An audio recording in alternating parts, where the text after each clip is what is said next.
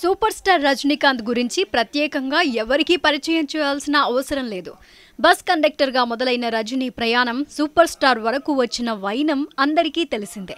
అయితే తనకు ఎంత పేరు డబ్బు ఉన్నా తన మనసుకు ప్రశాంతత ఇవ్వడం లేదంటూ వెల్లడించడంతో ప్రస్తుతం ఈ వ్యాఖ్యలు హాట్ టాపిక్గా మారాయి. ప్రస్తుతం రజనీ నేడు చెన్నైలో హ్యాపీ సక్సెస్ఫుల్ లైఫ్ త్రూ క్రియా యోగా అనే పుస్తకావిష్కరణ కార్యక్రమంలో పాల్గొన్నాడు. ఈ నేపథ్యంలో తాను దాదాపు నూట డెబ్బై సినిమాల్లో నటించినప్పటికీ కేవలం బాబా రాఘవేంద్ర సినిమాలు మాత్రమే తనకి సంతృప్తినిచ్చాయని అన్నారు.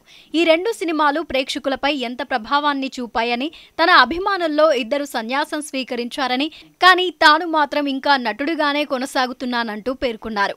హిమాలయాల్లో తనకు శాశ్వత పరిష్కారం దొరుకుతుందని రజనీకాంత్ చెప్పుకొచ్చారు. రజనీకాంత్ చేసిన ఈ వ్యాఖ్యలు ప్రస్తుతం వైరల్గా మారాయి.